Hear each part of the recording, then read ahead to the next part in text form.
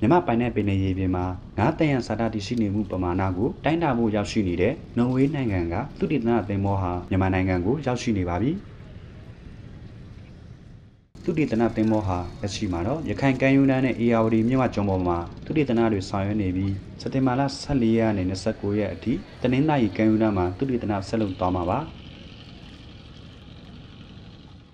မြန်မာနိုင်ငံငါးလုပ်ငန်းဦးစီးဌာနရဲ့ဦးဆောင်မှုနဲ့မြန်မာပိုင်နယ်ရေပြင်အတွင်းငါးတန်ရန်စာတတွေကိုလေ့လာဖို့နော်ဝေးရဲ့သုတေသနသင်္ဘောဟာရောက်ရှိလာတာဖြစ်ပါတယ်ဒီနေ့ကတော့ထူးထူးခြားခြား microplastic ကိုလေ့လာတယ်ဟုတ်လား microplastic ဆိုတာအခုဒီနေ့ world environment day မှာဆိုရင် microplastic ကတကယ် hot issue ဖြစ်နေတယ်လေဆိုတော့မြန်မာနိုင်ငံမှာ microplastic နဲ့ပတ်သက်တော့လုံးဝစာပေလို့တာမရှိသေးဘူးဒါပထမဆုံးအကျင့်လုပ်တာဆိုတော့အခုတို့ဒီ microplastic ကိုလေ့လာတယ် microplastic ကိုလေ့လာတဲ့အခါမှာရေထုတွေမှာဒီ water body တွေမှာဘယ်လောက်လောက်ရှိနေတယ်လဲ microplastic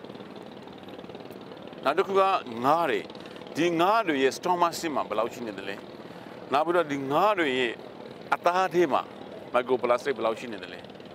အဲ့ဒါကိုကျွန်တော်အခုတော့လေ့လာတာဒီတစ်ခါဒီနေ့ကထူးထူးရှား microplastic ကိုလေ့လာတယ် သုတေသနသင်္ဘောဟာမြမပင်လယ်ပြင်အတွင်းငါးတန်ရန်စာတတိရှိနေမှုပမာဏကိုတိုင်းတာခြင်းပလတ်စတစ်ပါဝင်မှုနဲ့ရေငန်ဂေဟဆိုင်ရာအချက်လက်များသုတေသနပြုခြင်းငါးတွေရဲ့ဥနဲ့သားလောင်များပြန့်နှံ့တည်ရှိမှုကိုသုတေသနပြုဆောင်ရွက်သွားမှာဖြစ်ပါတယ်ရခိုင်နဲ့အရာတွေကိုနိုင်ချင်တဲ့ခါမှာရခိုင်မှာ microplastic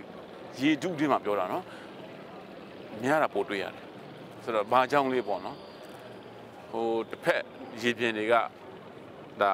ရေစီးကြောင်းအရာကိုယ့်စီကိုရောက်တာလေးဖြစ်ရှင်ဖြစ်နိုင်တယ်မဟုတ်ဘူးနဲ့ဒီ microplastic ဆိုကိုယ့်စီကပဲထွက်တာလေးဖြစ်ရှင်ဖြစ်နိုင်တယ်ဆိုတော့အဲ့ဒါကိုအကိုတို့ကအဲသူ့ရဲ့ဒီ microplastic ကရေထုထဲမှာဘယ်လောက်ထိပါနေတယ်လဲဆိုတာကိုအကိုတို့ကဒီ water temperature နဲ့ water မှာရှိတဲ့ salinity ရေငန်နှုန်းတွေနဲ့အကိုတို့ကနည်းနည်း calculation နဲ့လုပ်ဖို့လိုသေးတယ်အကိုတို့မလုပ်ရသေးဘူးအကောင်က raw data တွေကြီးပဲဒါပေမဲ့အကျဉ်းဖက်ပြောရရင်ရခိုင်မှာနည်းနည်းပုံများတယ် အထူးသဖြင့်ရခိုင်ပြည်နယ်မြောက်ဘက်ပိုင်းမှာပုံများတယ်အဲ့ဒီသူရိဒနာသင်္ဘောဟာကမ္ဘာနိုင်ငံရဲ့ပင်လယ်ပြင်တွေမှာငါးတန်စာတများတိုင်းတာဆောင်ရွက်နေတဲ့သူရိဒနာရည်ရင်ဖြစ်ပြီးမြန်မာနိုင်ငံကိုလေးချိန်တန်တန်ရောက်ရှိခဲ့တာဖြစ်ပါတယ်